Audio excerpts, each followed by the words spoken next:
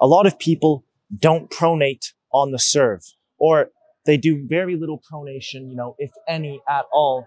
And it's the main reason why a lot of players will never have a powerful serve.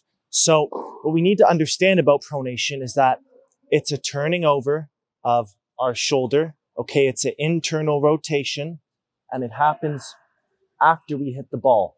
So what happens is we start flipping our shoulder from the racket drop, which is back here.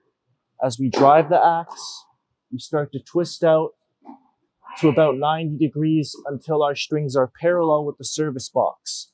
And then after we hit the ball, instead of just going down back to our left side for a right-handed player, we keep going up and out to the right to get this extra range of motion and increase our racket head speed by twisting out the racket another 90 degrees.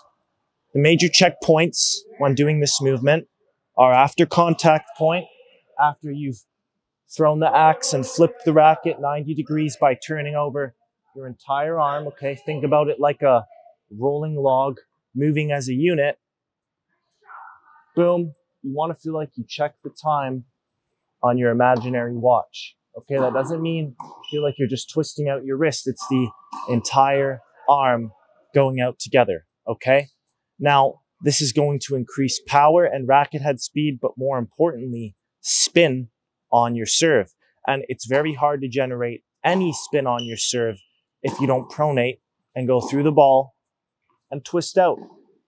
This is especially important on the second serve, right? Our top spin serve, where we actually stay more sideways at contact and we want to hyperpronate along the baseline. Think about it like this. We pronate on the ground strokes as well. Okay. Specifically the forehand, where after we hit, it's very important that we cover the ball with a windshield wiper or else we're not going to get any spin. The tennis ball doesn't know if it's being hit by a forehand, a backhand, or a serve. So if we want to get top spin and racket head speed on our serve, the mechanics are the exact same. Okay. Obviously, it's just happening, you know, in a different plane because the ball's not down here, it's up here.